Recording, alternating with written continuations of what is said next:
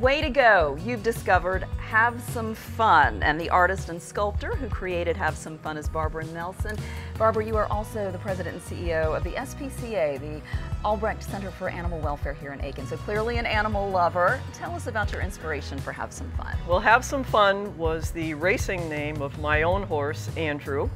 And he was my show jumper, he was my event horse, he was my fox center, he was everything to me when Aiken Center for the Arts did the Horseplay Project, and all of us as artists were, you know, trying to figure out, okay, what are we going to do, and all of that, I thought, how more appropriate is it to have my own racehorse, and then depict scenes from Aiken racing stables and the area around Aiken training track, and put those images on Hav Sum Fun, my own horse.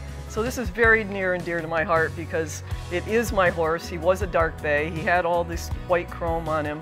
And to do the images of Aiken and the culture and the history around the racing stables and put it on my own racehorse imagery was just you know, natural for me. And perfect, absolutely perfect. Thank you. So what do you hope people get out of a visit to see Hav Sum Fun here? Well, what I'm hoping, honestly, is that people understand that Aiken is such a wonderful town, that the people, they love animals, that animals are integral to this, that the people themselves, they care about each other, they care about the animals, and that the Aiken Center for the Arts really was a catalyst to bring so many people together. I mean, the general public was involved in it, the auction was absolutely fantastic at the Aiken Steeplechase track, and everyone came together to make this horseplay project successful.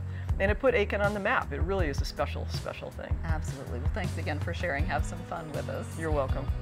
You've no doubt noticed that Hav Sum Fun isn't the only horse statue here. So while you're here, be sure to check out Stoner Side and then head inside.